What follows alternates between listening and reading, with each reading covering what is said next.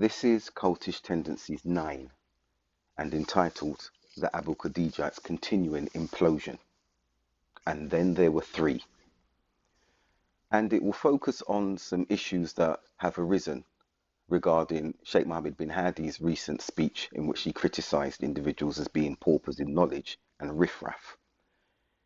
Some Tunisian brothers visited Sheikh Rabi very recently and asked him concerning these particular statements.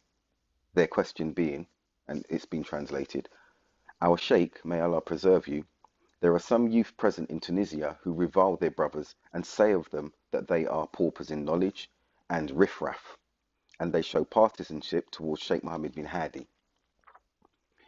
Sheikh Rabi' responded quite emphatically, saying, quote, Sheikh Mohammed bin Hadi does not have any evidence with him, and not even a half piece of evidence. The Sheikh then quoted the ayat, the English rendition being, Say, bring your evidence if you are truthful, close quote. Sheikh Rabi continues, use this verse as proof against them and its likes and demand evidences from them. What are the paupers in knowledge? They are those who have no knowledge. But these accused ones, they are teachers and they are graduates from the university and they have doctorates and master's qualifications. And among them are those who have efforts in dawah. He then quotes the verse again say, bring your evidence if you are truthful. Close quote. Continuing, he said, so if they are not truthful in bringing these evidences, then they are the liars and oppressors. The one who reviles people without evidence, this is lying. Do not speak about anyone except with proofs and evidences, as clear as the sun. Muhammad bin Hadi does not have anything with him, he has not even an iota of proof. There is only oppression, dhulm, therein. And that was the end of Sheikh Rabi's answer to that particular question. The reason this brings up interesting parallels is because these descriptions given here by our Sheikh Rabi, Hafizahullah, are attributable and characteristics of those now who are graduating or sorry, gravitating away from Sheikh Mohammed bin Hadi and hiding under Sheikh Rabi's wing. None other than the Abu Khadijites.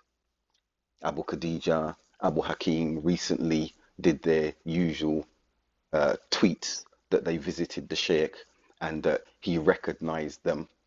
Um, I'm not sure why they wanted to tweet such a message that he recognized them um, because Shaitan is also recognizable um, for the evil that he does. So recognizing someone means what in this particular context? Anyway, continuing with this particular aspect, I'd like to draw the parallel from what Sheikh Rabi has said here, because the descriptors, as I've mentioned, fit these individuals, not only Sheikh Mohammed bin Hadi, who they were very, very recently tight with, it fits them the Abu Khadijites specifically as well. They have lied against individuals. They have slandered and oppressed individuals without an iota of proof. And they've been very effective in getting the ear of the few shuyukh that they've continued to go to, who have then believed them as they've been the ones preponderant in their message and lies to those particular shuyukh.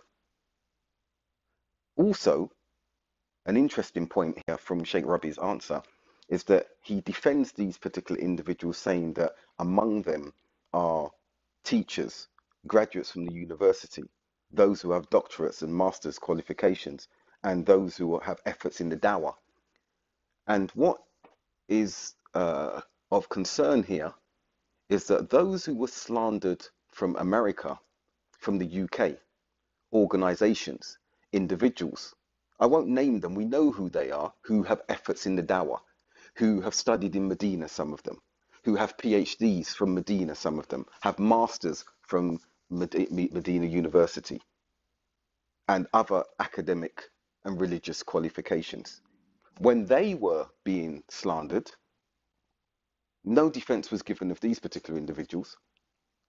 And the slander was emanating from Sheikh Mohammed bin Hadi. I talk specifically about myself. That's why I can mention the slander and I can talk about Brixton because Brixton asked Sheikh Mohammed bin Hadi to bring his evidence, a half piece of evidence, an iota of evidence, and he didn't bring it. And yet there was no defense to what we're seeing now. Also, the Abu Khadijites were leveling similar slanders. You only have to look back at the tweets from Abu Khadija regurgitating the Abul Hassan um, agreement from 1999 and mentioning in October 2017 that Sheikh Rabi' and Mohammed bin Hadi refute me specifically. What he basically did is he asked um, Darul Sunnah in London, who are his lackeys there, to remove their concocted refutation of me regarding the um, Abul Hassan agreement, which they did. If you check their website at that time, those particular papers had been removed, and Abu Khadija had just slapped a new date on it, October 2017, and put it up as though it was a fresh refutation. For any discerning eye, and for any um, individual, don't have to be too intelligent to look at this. We all know that Sheikh Rabi' was in hospital and been flown to Jeddah from Medina around September, October. So it's very, very unlikely, highly unlikely that the Sheikh is going to sit and do an extensive refutation against me and Brixton on Abul Hassan's agreement of nearly 20 years ago when he's recovering from major surgery and being very, very ill. I think any discerning individual, whether you're part of the cult or not, will agree with me on that particular observation. Anyway, the question comes now is where the Sheikh says, sticking with this first question, the one who reviles people without evidence, this is lying. Okay, this is lying.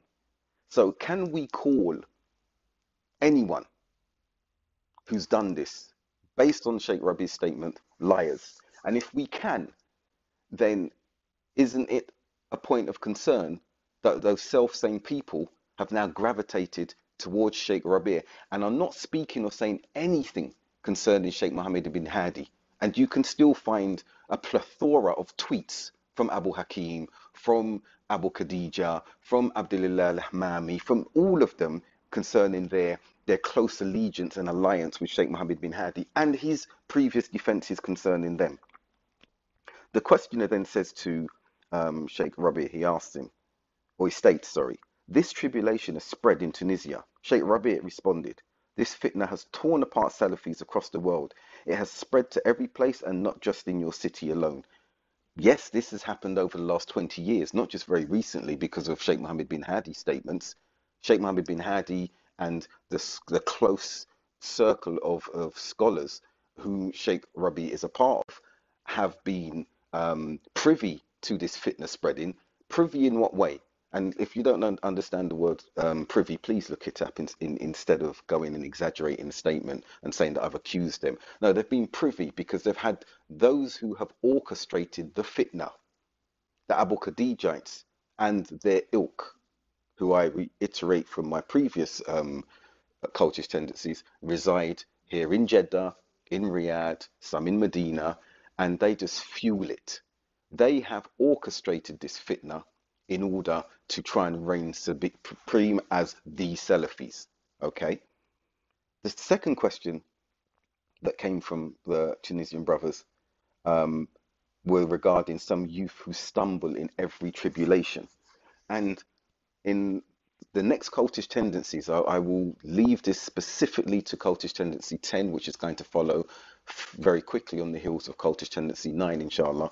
This particular statement will be directed at individual, none other than Dr. Abdullah Lahmami, who likes to talk about being on the winning team. Okay, and those who, when a tribulation comes, are not sure which way to go. We will focus on Abdullah Lahmami and the duplicity and the hypocrisy of some of his statements in light of what has um, developed very recently. We'll move on there was a fourth question from these individuals where they said, Our Sheikh, some of our brothers who are students in Medina, they left the gathering of Sheikh Mohammed bin Hadi, and so they they were accused um, by these people who follow this oppressive way the oppressive way of Sheikh Mohammed bin Hadi, I hasten to add, this is the inference here. They announced a boycott of them. So those who left Sheikh Mohammed bin Hadi were boycotted by those who have stayed, remained with Sheikh Mohammed bin Hadi. Sheikh Rabi said, The ones who boycotted them are oppressors. It was not befitting for them to do that. Those who show bigotry towards falsehood and blindly follow without any proof or evidence, evidence, they are blind, and this is the path of the people of desires. The Abu Khadijites were upon this, and to a greater extent are still upon this. Just because they've gravitated more to Sheikh Rabi' now and quietly abandoned Sheikh Mohammed bin Hadi does not mean that they are not upon this way. It's similar if we remember Sheikh Faleh al Harbi the Abu Khadijites, Maktaba Salafiyah cult were vehement in their defense of him and adherence to his way, which was seen as being very, very extreme and harsh. And he was refuted eventually by Sheikh Rabi', but before that by other Mashaykh. The Abu Khadijites were upon that way. This was their manhaj. So once he was refuted, they didn't say anything about him. They moved over sneakily, like they'd never been with him. But they didn't refute him in the way they've refuted other individuals, the Jordanian Mashaykh, the Kuwaiti Mashaykh, other, other Mashaykh. They did that Yemeni Mashaykh. They didn't do that. Similarly, you don't see or hear any vociferous voice from Abu Khadija, Abu Hakim, Amjad Rafiq, the milkshake. You don't see that, Dr. Lahmami. You don't see that vociferous refutation against these individuals. And we're going to look very shortly at how they go to extremes in praising and defending, and go to the other end of the spectrum in defaming and belittling. This is a trait of this cult, the Abu Khadijites. And going off at a tangent slightly, we need to observe a particular path, trend that will emerge, and Allah knows best, inshallah, among Abu Khadija and his ilk. And that is none other than they will put themselves in a position very soon, because they've been doing this steadily, where there will be no reference to scholars. The reference will only be to them and their followers who are more blind in their adherence to these individuals than we see of the Hanafiya, than we see of those who follow the Shafi madhab and the other madahib. We've criticized and we um, have, have, I think, been very harsh on denigrating those who follow madhabs, madahib. And some of the criticism in is in its just place when it's knowledge based. But this cult and elements of Salafis have become more ardent in their blind following than these who follow the madahib. Allah musta'an. But coming back now, the pendulum from one extreme of praise to disparagement is a characteristic of Abu Khadija, the Abu Khadijites, his cult, Abu Hakim, and the others. And remember, Abu Hakim is part of the cult. He hasn't got his own cult yet. Then the fifth question came to the Sheikh. Some of them, when we argue with them, say there is no evidence. They say the evidences will soon come.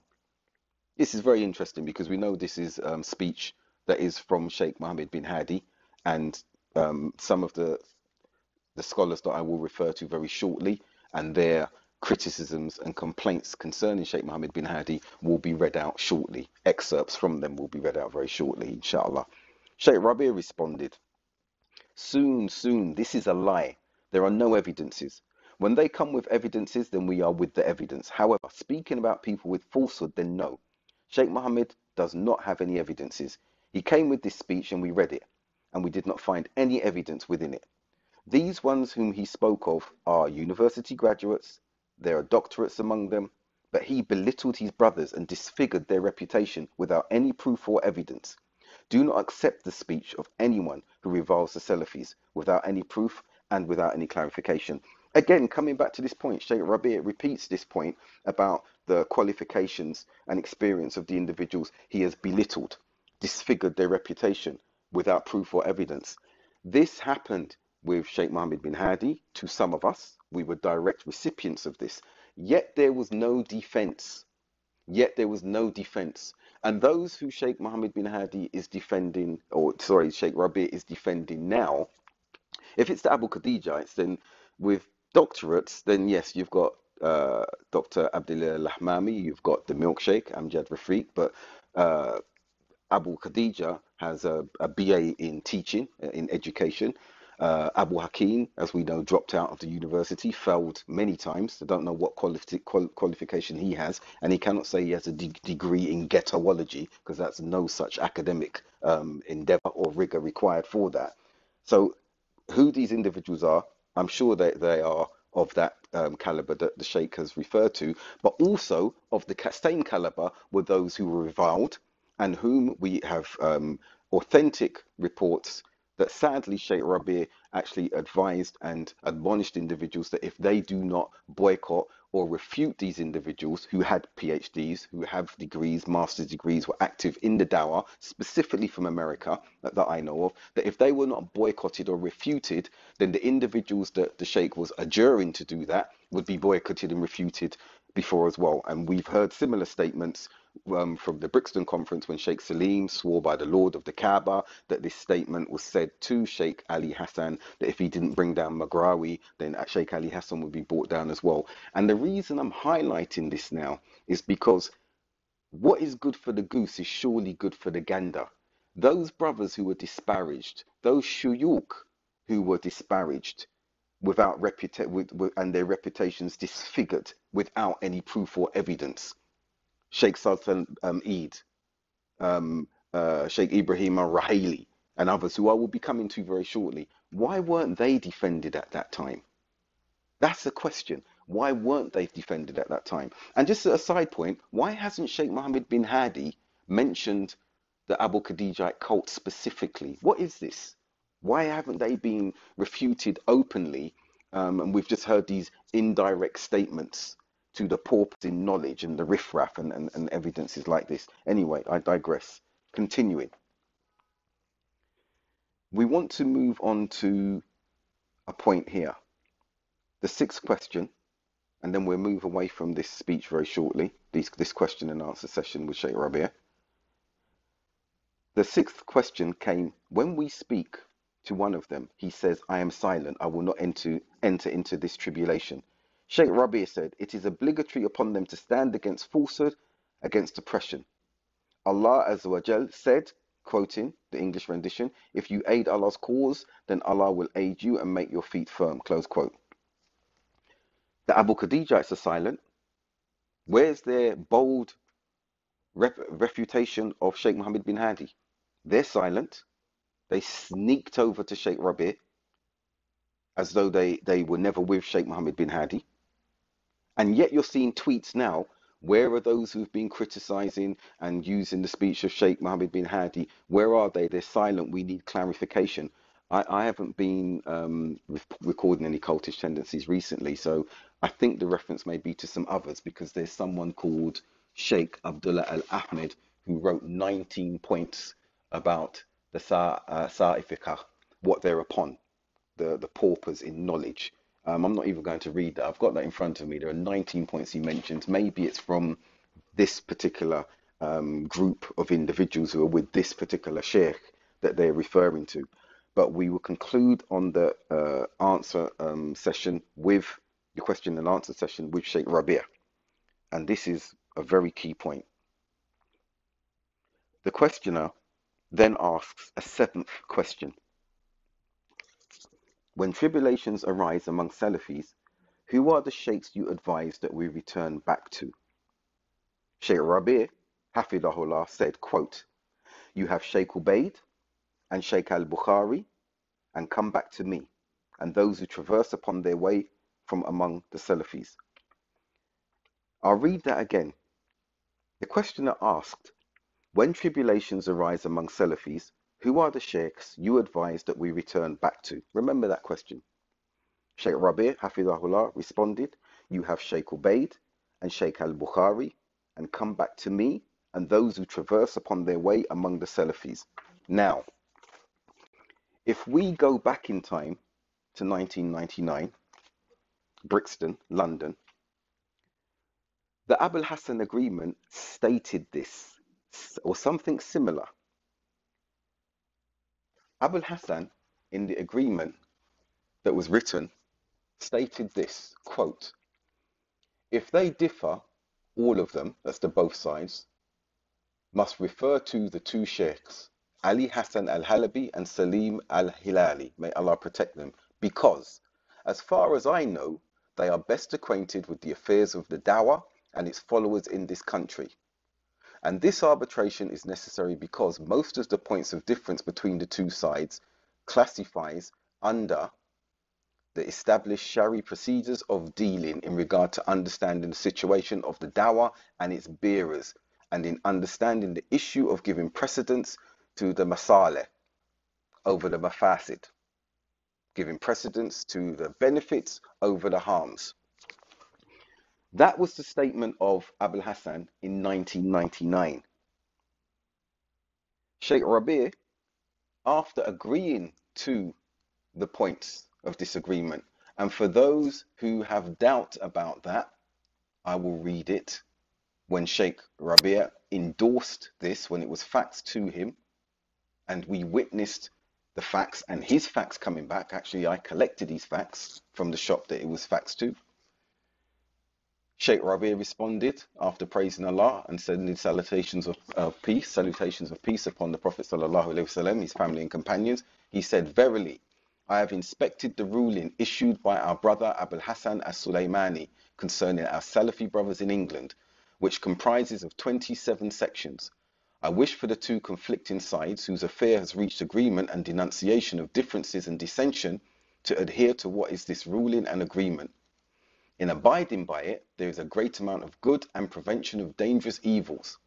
I thank Allah and then I thank Abul Hassan and our brother Salim al Hilali, as well as the two sides between whom the agreement was made, for arriving at this blessed result. We implore to Allah that this will result in good fruits in the future. May Allah's peace and blessings be upon our Prophet Muhammad وسلم, and his family and companions.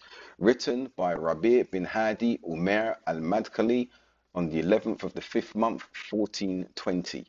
Now, let me give a quick statement here for those who will be jumping up and down and probably frothing at the mouth. See, see, Abul Hassan, everyone abandoned this agreement when Sheikh Rabia nullified that statement once he had been approached by Murad al Jazair, who used to be with the Abu Khadijites, and now he's no longer with them, and they are at odds and enmity with each other for a number of years. Surprise, surprise. And when the Abu Khadijites went and implored Sheikh Rabia to um, go against this agreement, to try and find fault with it. And how he found fault with it is that he referred to this particular point as a false principle that false principle of going back to the two sheikhs. And Sheikh Rabi stated about that particular point. Likewise, this is how he, Abul Hassan, obliges the two opposing parties to return their affairs when they differ to the two sheikhs, Ali Hassan and his colleague. Where is this Hizbi who calls allegiance to himself, Al Halabi and Al Hilali, in respect to the statement of Allah? And then he quotes the verse.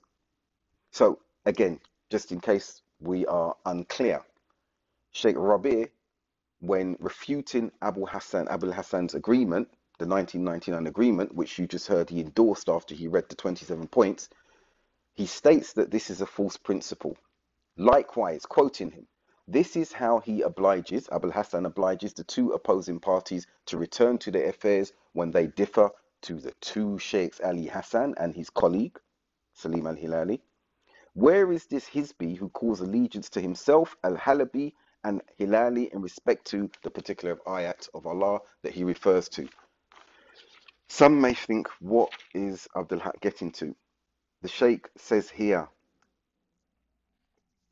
to the question, when tribulations arise among Salafis, who are the sheikhs you advise that we return back to? Sheikh Rabi says, You have Sheikh Ubaid and Sheikh Al Bukhari, and come back to me. This is something that causes concern because almost 20 years ago it was said and subsequently endorsed. Then, after that, it was refuted by Sheikh Rabia, Hafidahullah. And now we have a similar statement being said very recently to brothers who visited from Tunisia. Um, this is concerning. As is normal now, this particular recording will not, inshallah, exceed more than 30 minutes. We're at 25 minutes, nearly 26 minutes. But what I want to do now is quote some of the shuyukh who have said similar to what Sheikh Rabi has said and more many years ago, but has been ignored by the Abu Khadijites, by some of the shuyukh. And the question again that and the concern that comes is why? Why has it been ignored? Why have their concerns, which have been written, which have gone to court here in Saudi Arabia, been ignored up until this point now? And it's only now that the same issues are being addressed. Sheikh Sultan Al Eid wrote a book critiquing Muhammad bin Hadi entitled An Advice to the Generality of Brothers and an Elucidation of Lies and Falsehood, a discussion with Sheikh Mohammed bin Hadi. This was in 2009. And on page three, he said, excerpts I'll read. Some beloved brothers within the kingdom Saudi Arabia and outside of it, from the people of knowledge, requested that I uncover this vile approach and refute the rumors and claims of our brother, Sheikh Mohammed bin Hadi, so that those with little knowledge do not get deceived. I have written this clarification based on proofs from our brother Mohammed bin Hadi because the man is a coward and does not openly declare his slander on audio tapes or books. Our brother Sheikh Mohammed has spread rumors which he has not brought any evidences for up to now. But Allah, he does not enter the house from its doors and does not follow the Shari way of giving nasiha. Up to now, he has not come to us with any inquiry, communication, or letter about the falsities he has promoted. We wish that he would raise the matter to our senior mashaykh if he has spread, if what he has spread is true, but he has rejected doing this. That's one aspect. Sheikh Sultan goes on to say, Our noble brother Sheikh Mohammed bin Hadi has been speaking about my honor and deen for three years, and I've been silent for three years for the following reasons. What he has mentioned about me are merely false suspicions, delusions, and hypothetical ideas. So he says things like, here it is, you will see, and I know more than you all know, and my words will soon become clear to you, and Thiqat have narrated to me. And then he is not even able to name these Thiqat. This is what Muhammad bin Hadi used to refute Sheikh Faleh for, and then Muhammad bin Hadi falls into it himself. Again, when Brixton approached Sheikh Mohammed bin Hadi, we asked him for evidences of the statements he'd made publicly against Brixton and myself and Abu Haja. We then complained to the Ministry of Religious Affairs because we thought and felt that dhulm, oppression, had been done to us because no evidence, no substantive evidence had been given. Nothing was substantiated. I repeat, I also write, wrote to Sheikh Mohammed bin Hadi a private letter that remained private from my side, asking for evidences and failing such deliverance of evidence. I had a right as a citizen, as a as a uh, an expat working in Saudi Arabia as a Muslim, to seek my rights in court, and he didn't respond. Continuing, Sheikh Sultan Al Eid continued. Sheikh Mohammed and those who are with him have taken a new way in Jarh, which they have become distinguished with. So repeating. Have they taken a new way in Jarh wa Ta'dil, which they have become distinguished with? I fear that one who has no knowledge might follow them in this, and this is why it is necessary to clarify it. And then he goes on and names a number of points, lists a number of points using vague and general matters. So if we discuss with him, he's unable to clarify them or explain them, and he's unable to present evidence for them. Okay, these these are some of the things. Uh, the third, another point, gratification in in that which one has not been given. So you will find with them blowing up matters out of proportion and glorification of their speech with terms of expression, which makes the listener think that these speaking have ilm and khabar, or that he has come across something which no one else has before. Other statements uh, that he has made and that he has knowledge of so and so's misguidance and enmity to Ahl Sunnah years ago, even though within that time he used to give tazkiyah to them and defend them for the general benefit, as he's claimed. Use of unseen affairs and guesswork. So if it is said, What is your evidence? they say, We know and you don't know, or it will become manifest to us. There's so much here. I've got pages that can be read, but it will be coming out in a particular um, academic paper written by one of our colleagues, mashallah, tabarakallah, Abdul Haq um, Ade. There's a 150 page plus um, refutation of Dr. Abdullah Lahmami in which all of this is going to be contained. Um, I've gone over the 30 minute um, mark and I want to conclude, but I will move to Sheikh Ibrahim al Ruhaili, whose case is quite well known. And what he did, he gave um, Muhammad bin Hadi three options. One was a knowledge based book, two, an open academic discussion, three, a divinely legislated Sharia court judgment. And as some may know, that he had to proceed with the third option because the other two were exhausted and Sheikh Mohammed bin Hadi did not reply or respond concluding that I won't go into the details from Sheikh Ibrahim al Ruhaili. It's all there. It will come to light soon for those who have not read it in either Arabic or English. But also Sheikh Salim At-Tawil wrote as recently on the as the 24th of January 2018, and he also criticised Sheikh Mohammed bin Hadi. And why am I bringing all of this now to the listeners? So they know that this has been there before, years before. You've heard dates of 2009 from Shuyuk. Also, that which is being criticized um, in Sheikh Mohammed bin Hadi was directed at lesser than him. But those who Sheikh Rabi is defending now with doctorates and masters and efforts in the dawah, and yet nothing was done. And the reason and questions around that must still remain. Is that because these individuals were not blindly adhering or sticking very tightly to particular shiuk, that they were not behaving in the way that the Abu Khadeejite cult was behaving, that the Abu Khadeejite cult was disparaging anyone who had knowledge and had efforts in the dawah that had not aligned to them, because this is a trait of theirs. And as Sheikh Salim At-Tawil said in part of his speech, as whenever you, Sheikh Mohammed bin Hadi, differ with a person, you bring forth a new term for him, along with a sect name after him, such as Al-Ma'ribi, Al-Maghrawiya, Aruriya, Al-Halabiya, Al-Hajuriya, Al-Ruhayliya, Al-Suhaymiya, and other such titles which we do not know of. And Sheikh Mohammed bin Hadi has done that. Um, could I be criticized for doing similar because I've labeled these individuals the Abu Khadeejites? Some may say, yes, that could be a criticism leveled um, towards me, but I use this term because Maktaba Salafiyah is not a descriptor that should be used. Salafiyah should not be used and and bastardized with these individuals using it as an umbrella umbrella. And i'm not saying salafia is bastardized or is a bastard name. I'm saying it shouldn't be bastardized. If you know the term it means that it should not be misappropriated by those who are a cult and have no interest or little interest in Salafiyah. They have more interest in their hegemony and controlling the dawah and business.